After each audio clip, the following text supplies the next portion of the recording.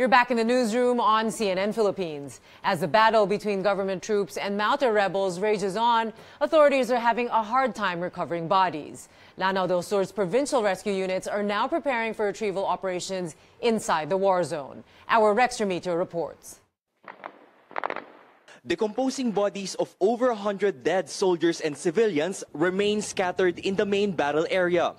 The Lanao del Sur Disaster Risk Reduction and Management Office says they can't recover the corpses because of the ongoing clashes between government forces and Maute rebels. Uh, our focus from the military side is to address the armed elements. The recovery of the dead and the missing is the subject of the other task force following after us. The hostilities and the stray bullets make retrieval operations very dangerous and risky.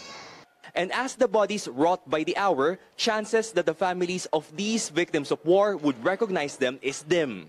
That's why local rescue units are preparing well for the difficult task. They're holding an exercise simulating a situation where they had to do their job just a few steps away from a firefight. The goal is to rescue those who are still alive and retrieve the bodies of those who have been killed. Uh, this would be the first time na papasok kami uh, sa yung mga areas na hindi pa namin na, na napasukan. Ito, ito trabaho namin eh. and siguro ito, ito na rin yung best contribution namin sa mga kababayan namin. Another exercise is on the proper handling and identification of remains. A forensic advisor from the International Red Cross leads the training. Uh, well, number one, the dignified manner to, I mean, respect the body, to res but most importantly, to document whatever is relevant that could be conductive to identification. These are human people. These are human people. These are persons. These are people who has an identity. So, and people is looking for them.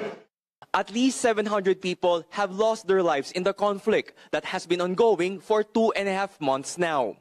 Rescue teams say they will get all the bodies they can in the war zone. Soldier, civilian, or rebel, they all deserve a dignified burial.